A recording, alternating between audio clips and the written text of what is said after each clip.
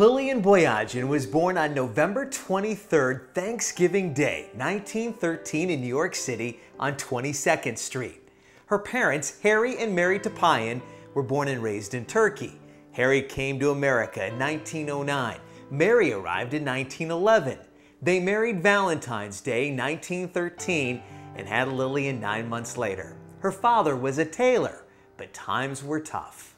Well, we couldn't afford a bed, so we emptied out a drawer and put a pillow in it, and that was your bed. And one day I said to her, Ma, did you ever want to close that uh, drawer? drawer? Lillian's sister Aggie came two years later. The family moved to Highland Park, Michigan. Harry thought because of Henry Ford, he could make more money in Detroit. Andy was born in 1923. Mitchell was born in 1926. They were a very close-knit family. we were always together.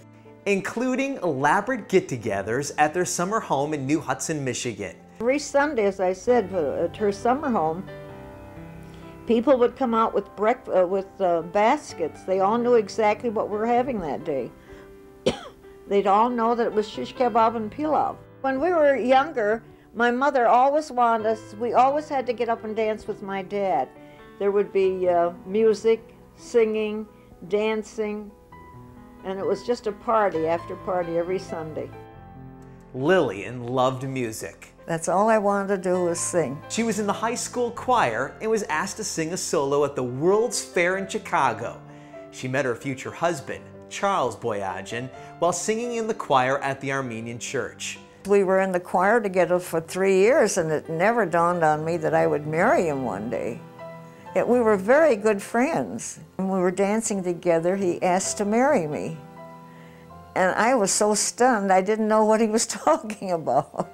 They got married October 7th, 1934. It was a beautiful service, and then we had a lovely sit-down dinner. At They had three children, Marianne, Dolores, and Karen.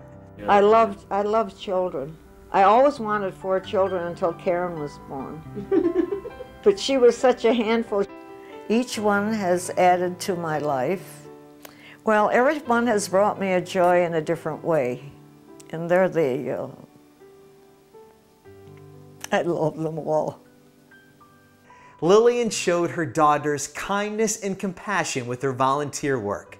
She was PTA president of their schools. She raised money for the March of Dimes, Red Cross, and other organizations. She was also president of the AGBU, the Armenian General Benevolent Association. They raised so much money for Armenian children, they were honored nationally. I've always felt as though I had to give of myself. And that this is why I've been so active throughout my whole life.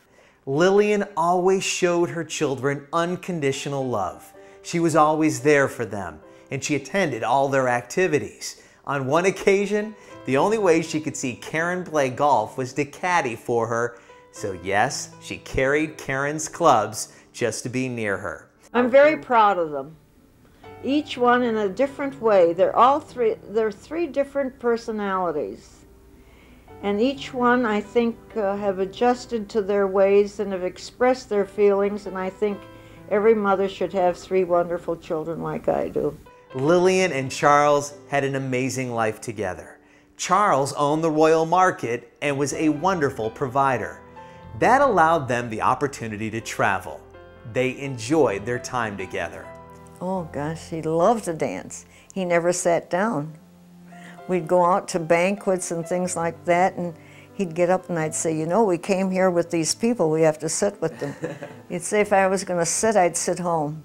I came to dance. and Lillian loved to entertain. Turkey, rice pilav, bulgur pilav, manti was our appetizer, cranberry relish, tossed salad, corn, corn, and me.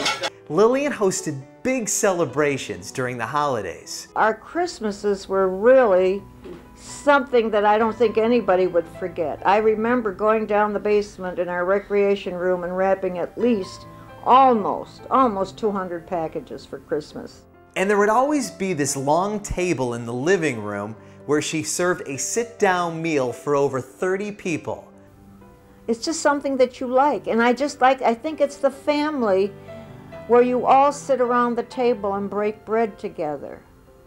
I think this is something that you feel as though you want to do and you want to eat together and be together. The family grew with the addition of six grandchildren. I love all of my grandchildren, you know that. And her grandchildren loved her dearly. She also supported them in their activities.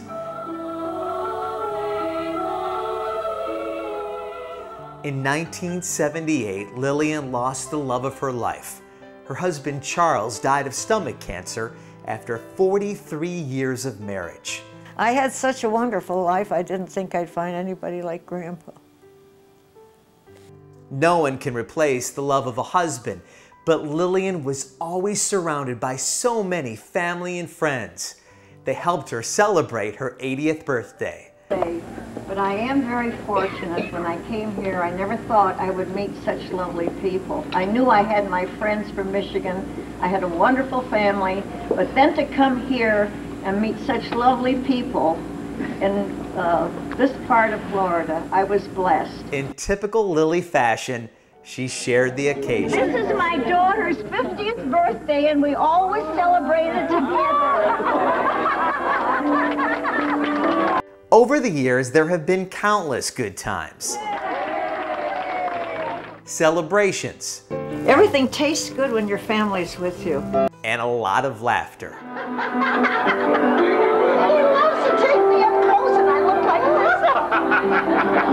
Also, there's been the addition of Lillian's seven great grandchildren.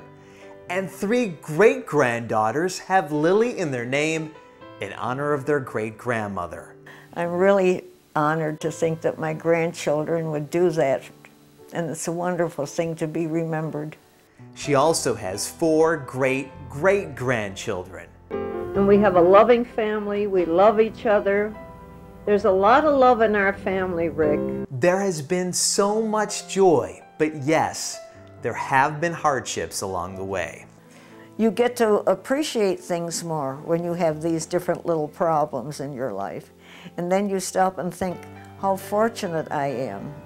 And I've always said that my life is like a long red stem rose that hasn't been treated with all the thorns and all the leaves. And then when you start at the bottom of that rose, you see those thorns there. Sometimes I'm lucky. I bypass those thorns. And sometimes it's life where the thorn does attack you. But still, way up, if you look, you see that beautiful rose and you reach for it. And that's what my life has been. For her family, Lily is that beautiful flower, that ray of hope the woman who gets excited about everything from family and friends to making candy. Do you like our display, Rick? the girls worked very hard on it. Now, I didn't do anything.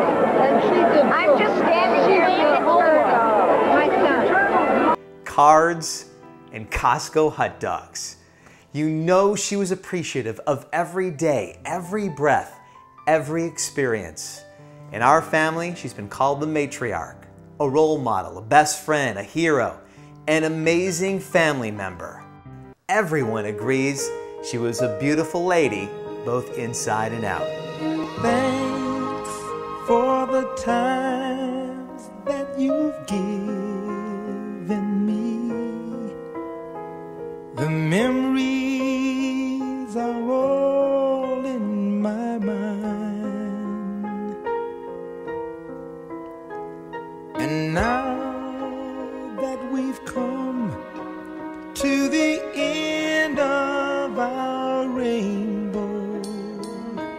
there's something I must say out loud.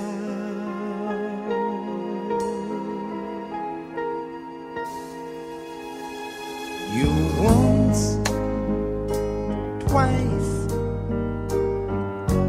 three times a lady, and I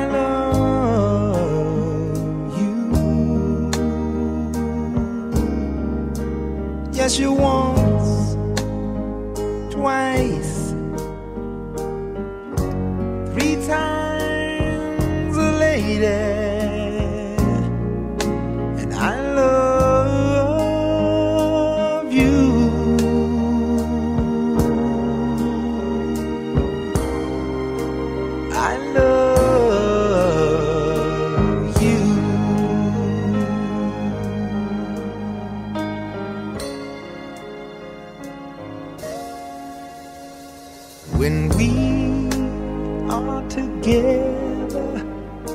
the moments I cherish with every beat of my heart.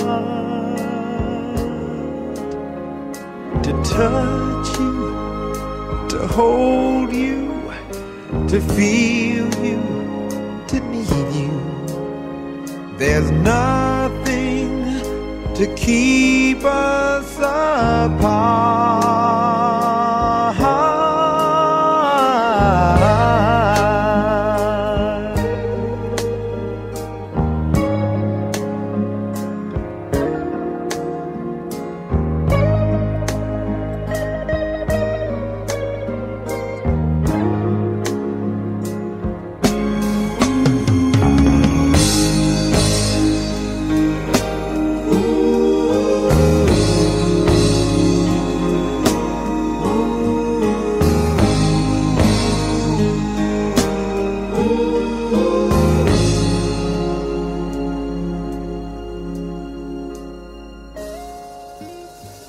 You're once, twice,